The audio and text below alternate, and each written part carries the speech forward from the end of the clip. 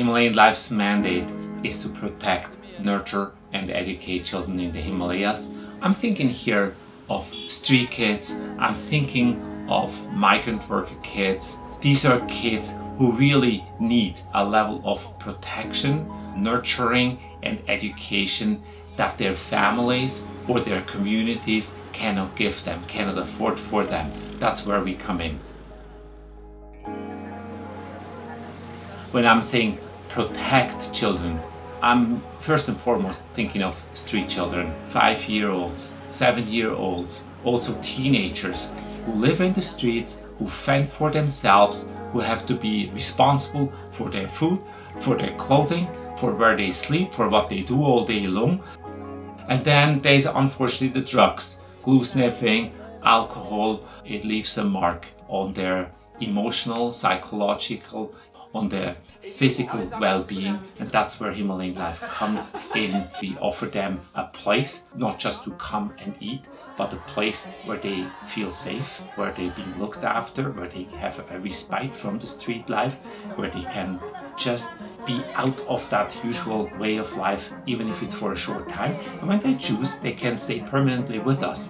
That's where nurturing comes into the picture. Three children who want to make that step away from the street, they can move in one of our street to school homes. Then we can really look after them more in a context like a real family would, with home parents who are really onto the well-being of those children who know each of them individually by name what their needs are what their hopes their anxieties their fears are each and every one of the street kids has to deal with severe trauma.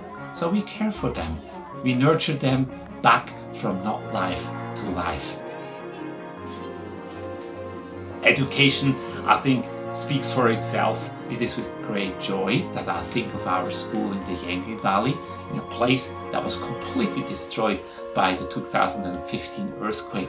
Not one house left standing, no schools left. And now in this valley, as little as a few years after this catastrophe, we have a thriving school with over 200 students, a school for which we have set as its goal to be a model school, a beacon of light in the educational system in Nepal, where we want to demonstrate what it would look like if teachers are excited about their work and if students really can discover the joy of learning. And then, of course, there's education for the families.